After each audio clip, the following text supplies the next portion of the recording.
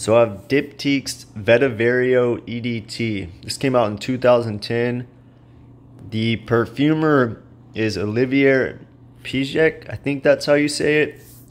He has a lot of popular fragrances. I think 1 Million's probably the most popular. I know he did a bunch of their flankers. Um, he did Versace Eros Flame, Mont Blanc Explorer, kind of a rip off of Creed Aventus a little bit. Although over the years that Explorer aged um, differently than Aventus, it smells different to me. Um, what else did he do? A bunch of diptyques, Fleur de Peau, um, Eau Capitale, uh, some other ones. He did a bunch for H and M. Uh, Mont Blanc Legend. Anyway, he's a popular perfumer. Um, he did the one gold too. That wasn't really popular, but smelling this Diptyque fragrance, this vetiver, I feel like it could be released as a flanker for the one or something. Maybe not even as good. I don't. It's not as good as the uh, the one EDP. It's honestly what it reminds me of. If anyone's smelled Frederic Malle's Uncut Gem, it's like that, but way more tame. Yeah, it's a. Uh,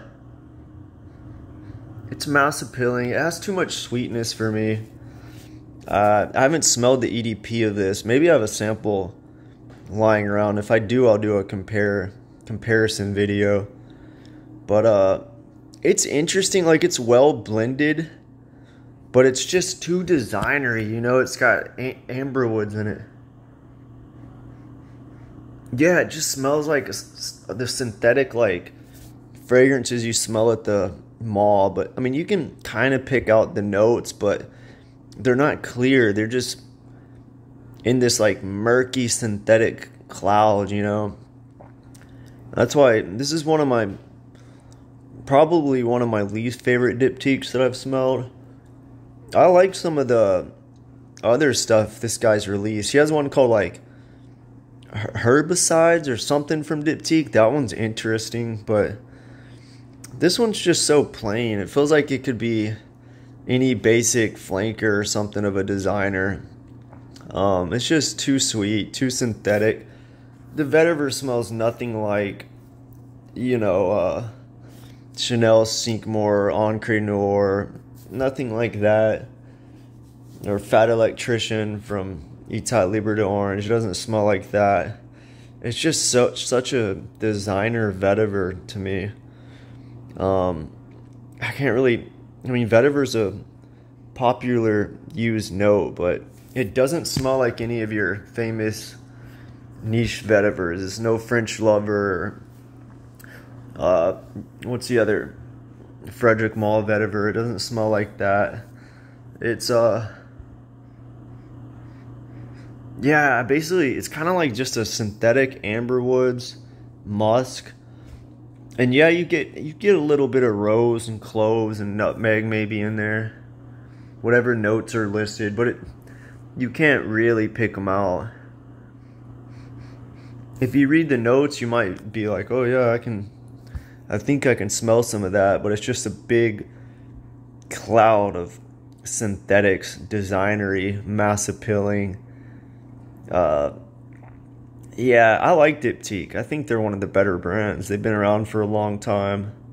I know they make candles. I've never tried the candles, but their fragrances are are pretty good. Um, yeah, I prefer if, if you're gonna try Diptyque out, I would try like Tempo or I think Tam Dao, the Sandalwood. With that one, I'd go the EDT probably, unless you want something more designer and smooth, then try the EDP. Um, what else? Eau Capitale, but I prefer Portrait of a Lady. Eau Capitale is more fresh, not as not as heavy and dark as Portrait of a Lady. Anyway, I have a bunch of Diptyque samples. Maybe I'll do a house overview or something like that.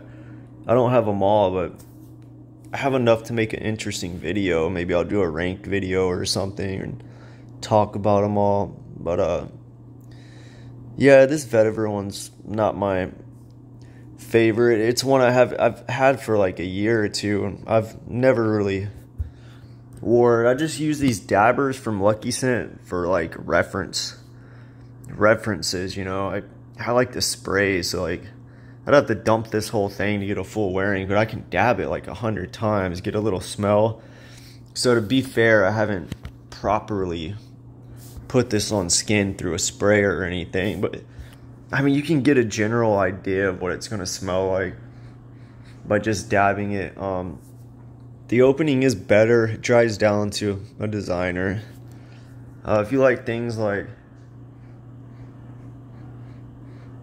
yeah, just any designer,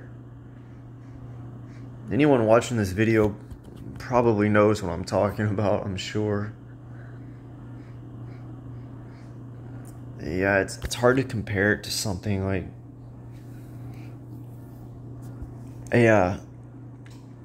But try the other diptychs.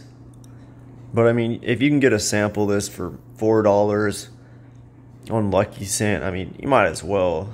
Only four dollars, but uh, some of the diptychs are three dollars.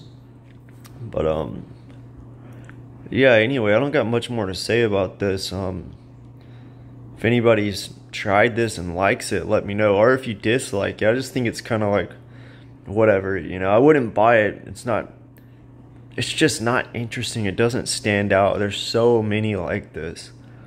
It's not exciting. Uh, it's yeah.